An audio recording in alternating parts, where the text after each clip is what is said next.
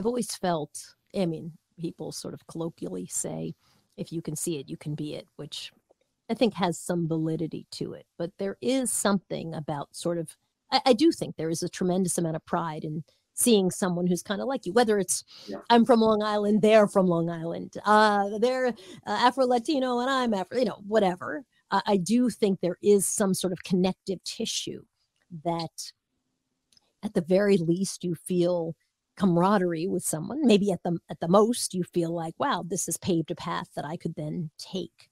Um, have, have you felt that way? Yes, and, and and I often hear stories of people who've been inspired by my example.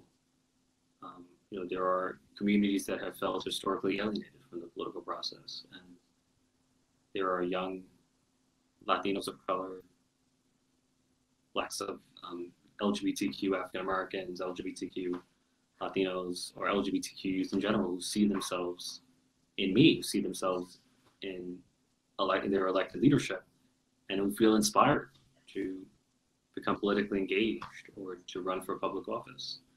Uh, but for me, especially as a gay man, you know, visibility is is a matter of not only of pride but but life and death. Um, you know, I'm reminded of the AIDS crisis when the LGBTQ community was far less visible than it is now. Ronald Reagan, the president of the United States, went six years without even uttering the word AIDS, without even acknowledging mass suffering and deaths among LGBTQ people who were dying at the hands of an infectious disease.